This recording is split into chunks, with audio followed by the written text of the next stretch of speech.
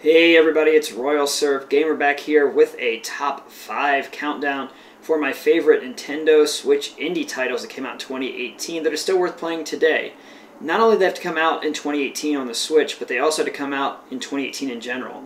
So my favorite game from last year that was an independent release came out in 2017 on the PC, 2018 on the Switch, so it's not eligible for this countdown, but I did put it in honorable mentions because it's my favorite game from last year. So I'll put all of the eShop um, links in the description so you can read up more about these games if you're interested in that. Also, I reviewed one of the games back last year in either January or February. I'm going to put that link in the description, and I'm just going to let you get to the countdown. So without further ado, here we go. Number 5. Bloodstained Curse of the Moon is a nice little game that pays homage to Castlevania from way back on the original NES. If you are an 80s or 90s kid, you'll see a lot of parallels between Curse of the Moon and Castlevania, such as whipping lanterns to gain powers, and those annoying little knockbacks when you get hit, which by the way you can turn off in the options menu.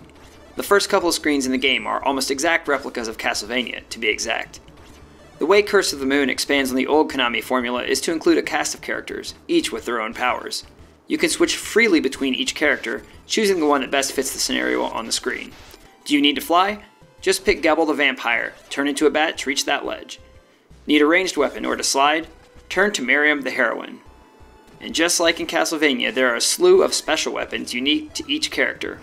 Old favorites like the Boomerang and Holy Water are back, but the Alchemist adds a couple of cool spells like the Fire Shield and the Ice Crystal that really turn the tables. There are a couple of things I really like about this game too. Characters don't share health bars, so if one character is about to die, you can just press LRR to switch those characters quickly. Additionally, you don't lose a life until all of the characters in your party die, which can be helpful. Especially if you need all four characters at full health to take down the boss, you could just kill the last one, start at the checkpoint, and get back up pretty quickly. I also thought it was clever how these little dead skeletons pointed the fastest way to get to the level boss. Pretty clever. While sometimes I couldn't get to the door or the stairwell because my flying character was dead or I needed a certain power up, it sure was nice to know which fork in the road was the best. As with any game, Curse of the Moon has its flaws. First, it's a terribly short game. I reached the final boss in less than two hours, which is about the same amount of time it takes to beat the original Castlevania from way back on the NES. You can repeat the game on higher difficulties, though, and explore the branching paths. Another downfall is the controls. I know they made the controls similar to Castlevania on purpose, but the jumping is just way too stiff nowadays, and it's really imprecise. Sometimes I died on jumps less because of skill, but more because I wasn't lined up perfectly before a jump or I hadn't pressed the button soon enough. This made the final level of the game almost unfair to play, as some of the platforming requires intense precision. Bloodstained Curse of the Moon definitely scratches that platformer itch and is worth playing for sure. But if you want a true Metroidvania instead of a platformer, wait for summer of 2019 when its sequel, Bloodstained Ritual of the Night, comes to Switch. It promises to have a map twice as big as critically acclaimed Castlevania Symphony of the Nights did, and it will deliver more of a haunting, exploratory experience. Number 4. Another platformer that harkens back to the NES age is The Messenger, an adventure with a Ninja Gaiden feel. While Ninja Gaiden was specifically a platformer only, The Messenger is more of an adventure game. Sure, it has all of the sticking to walls and throwing stars and an Asian theme, and these extremely retro level cuts. There is much more beyond that. See, there's this really modern feel to The Messenger, even though it looks and sounds like an 8 or 16 bit game. Think about the messengers being Ninja Gaiden mixed with Shovel Knight. For example, there's this weird shop owner that sells you powers from a skill tree for crystals, and that's a pretty modern concept. There are save points, which most NES platformers didn't have. There's an actual story with nice depth, also missing from Ninja Gaiden. And there's this little bug that saves you from death, but then you have to pay him a crystal fee as you traverse the level, a mechanic similar to those lanterns in Shovel Knight. There are also these hidden alcoves with collectible coins. And if you find all of them, you get, as the game calls it, an overpowered weapon. This leads to one of my two favorite things in the game, which is the game's sense of humor. The game breaks the fourth wall by talking about itself all the time, saying stuff like, Oh, the room outside was symmetrical, so you thought there would be a boss fight?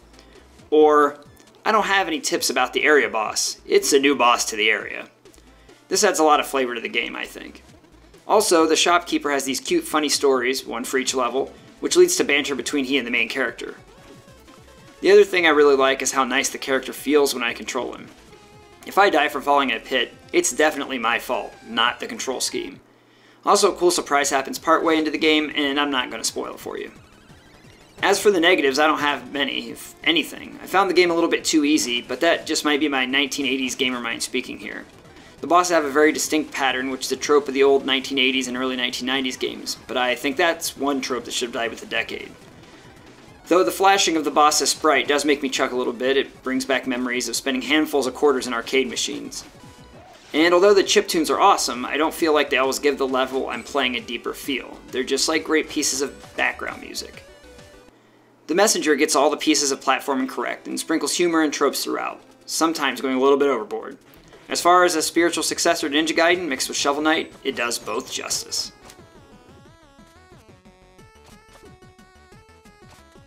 Number 3. For a completely different type of game, we turn to Into the Breach, a dystopian turn based strategy game. And if you're into strategy or tactics games, you can think of Into the Breach as maybe a Fire Emblem or Final Fantasy Tactics type game, but on a much smaller scale. Bugs are taking over the planet, and you're basically the last hope to stop them. There are quite a few different objectives to conquer on each continent, each giving out its own rewards. The interesting catch to this game is, though, that all the quests are interconnected. What this means is if you do a really poor job on a level, it affects the rest of the continent until you finish the final boss. The gameplay is consistent and very good.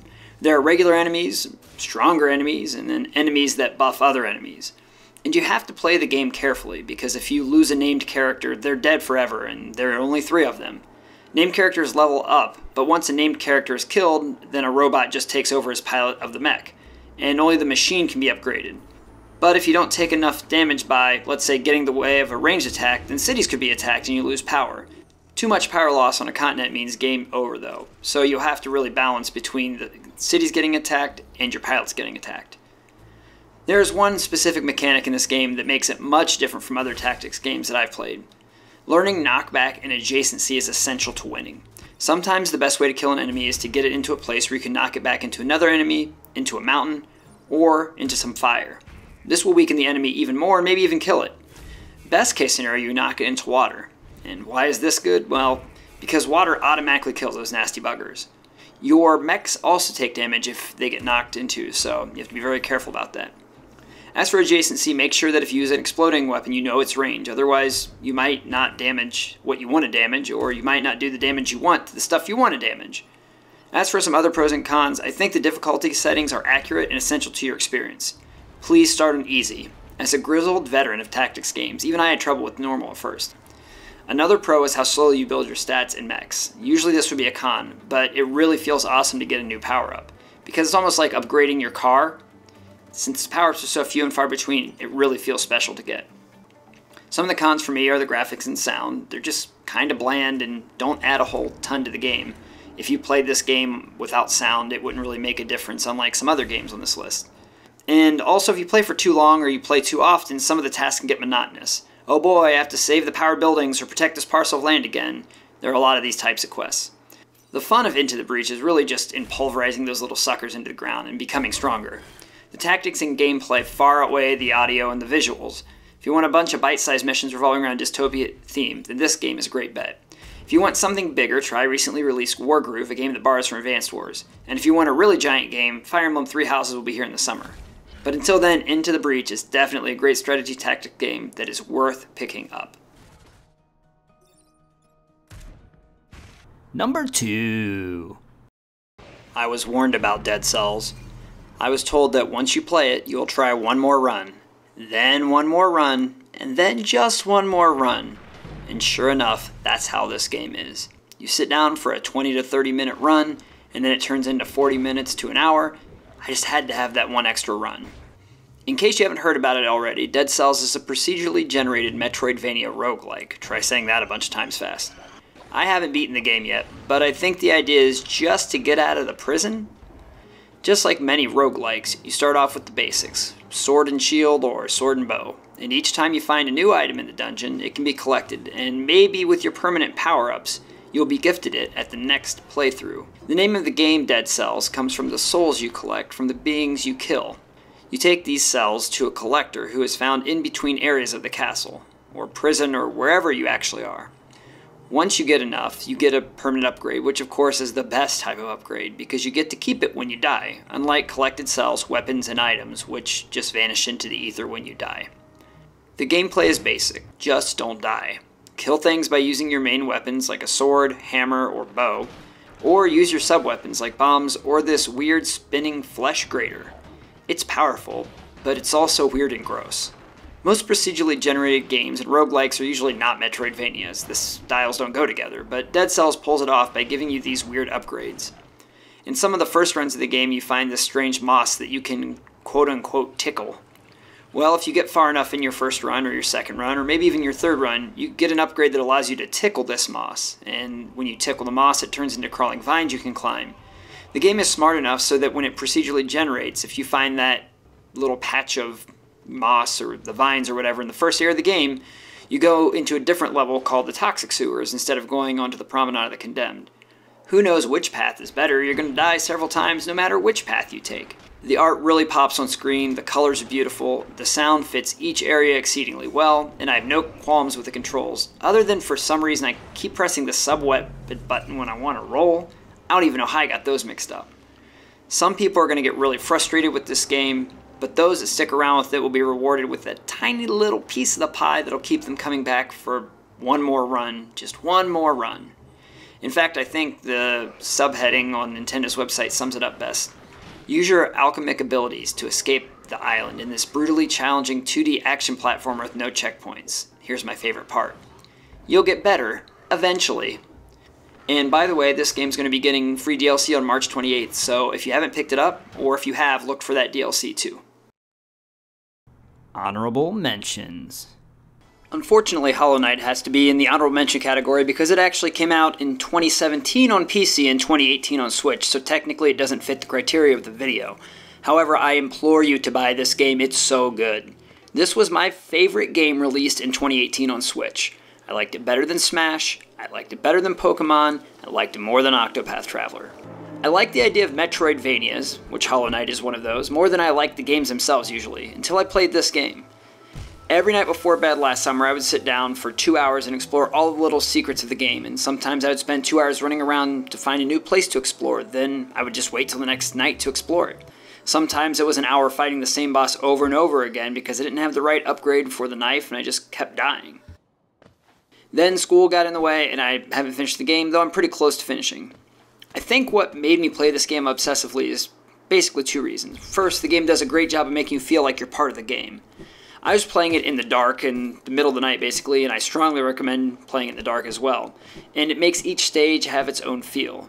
The beginning area, the Forgotten Crossroads, feels damp and somehow cracking at the same time. The colors are very gray, purplish gray.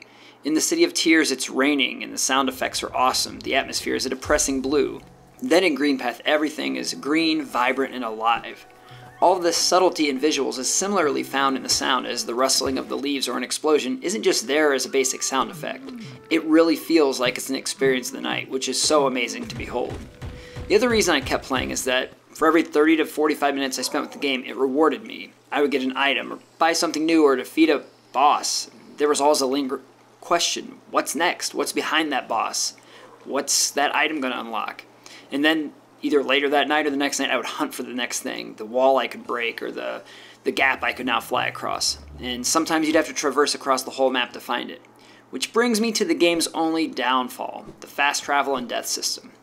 See, the fast travel system doesn't come into play for a few hours, so you have to platform a lot of the same parts of the game several times.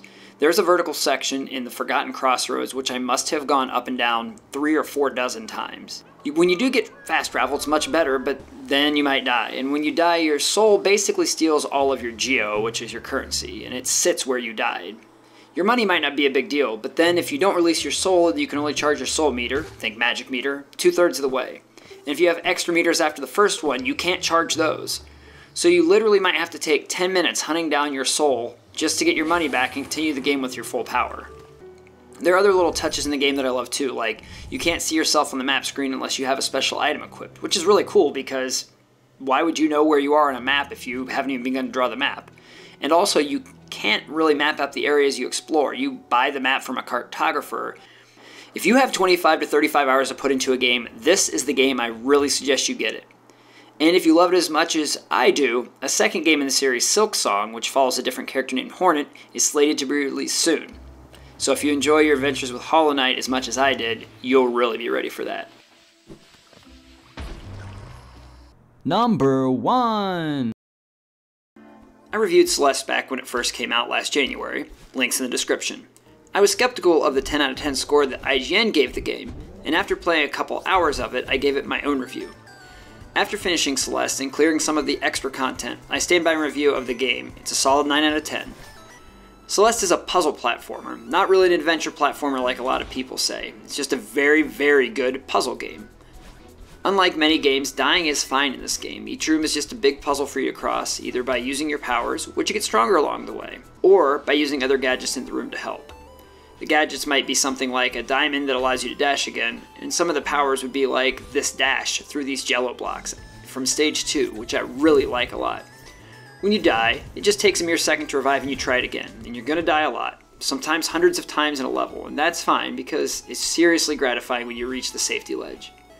I'm gonna let this clip play, and I'll tell you that this screen took me more than a half hour to clear the first time I played the game.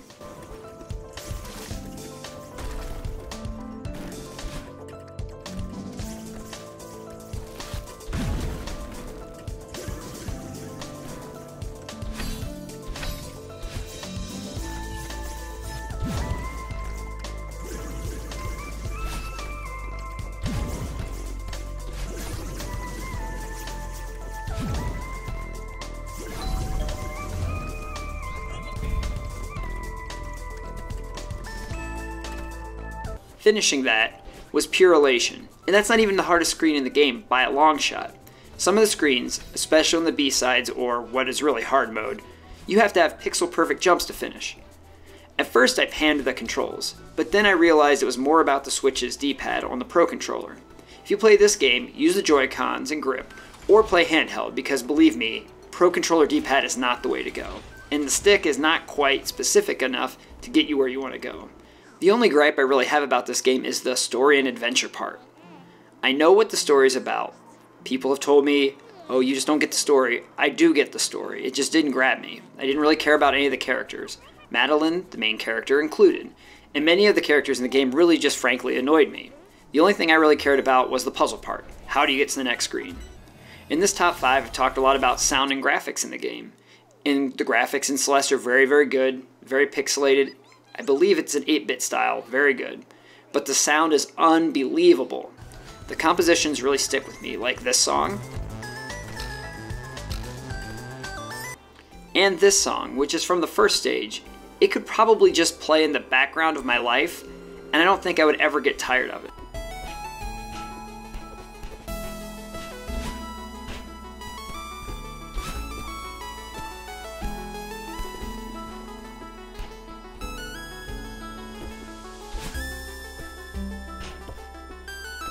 So the one Switch 2018 indie released last year that is most worth playing is Celeste. I mean, it did win Indie Game of the Year last year at the Video Game Awards for a reason.